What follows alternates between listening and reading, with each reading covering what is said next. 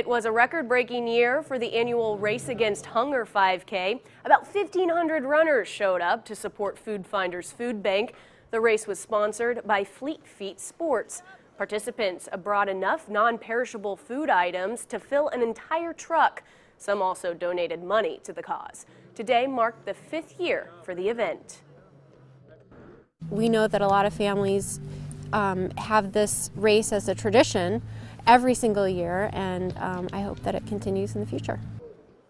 Organizers say it's the perfect way for people to burn some calories before indulging in their own Thanksgiving meals.